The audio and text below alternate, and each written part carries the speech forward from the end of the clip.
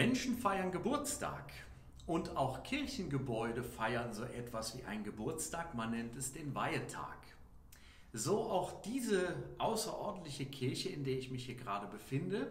Sie ist auf den heiligen Franz von Sales geweiht worden vor genau 50 Jahren.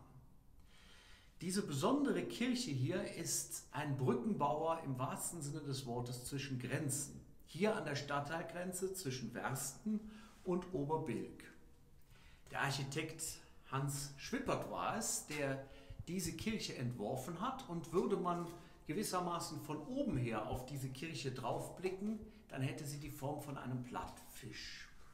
Man kommt also in diese Kirche hinein und ganz anders als andere Kirchen, wo man reinkommt und sieht sofort das große Ganze, wird es in dieser Kirche zunächst einmal enger.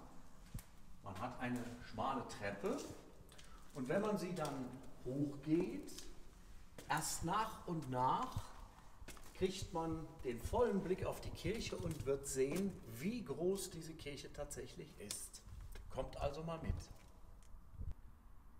An dem Ort, wo heute unsere Kirche steht, war im Mittelalter eine Mühle, die Scheidlingsmühle, die dann Ende des 19. Jahrhunderts abgebrannt ist. Der Architekt hat diesen Gedanken für unsere Kirche aufgegriffen und zwar im Altar. Ein Mühlstein aus vielen Körnern wird das Brot gemahlen, um Nahrung zu sein. Und der Gedanke ist ja der gleiche in der Eucharistie. Jesus Christus hat sich aufgerieben, um Leben zu sein, um für uns da zu sein, um bei uns zu bleiben in der Eucharistie.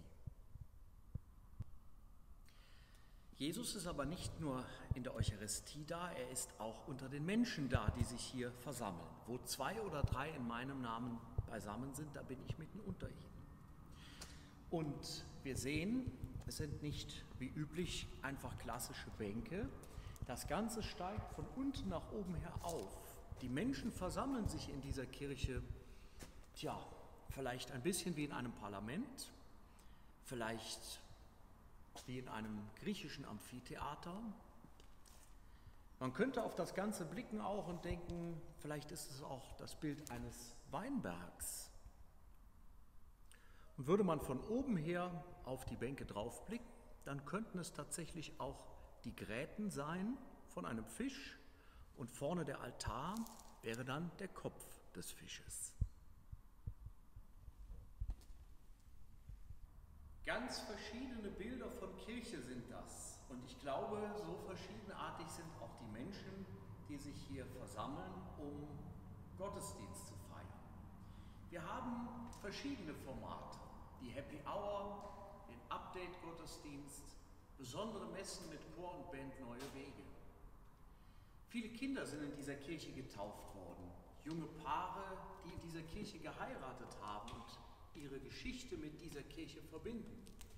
Und ganz viele werden sich sicher auch erinnern an Peter Sülzen, der hier lange Jahre als Priester tätig war und vielen in guter Erinnerung ist. Grund zu feiern.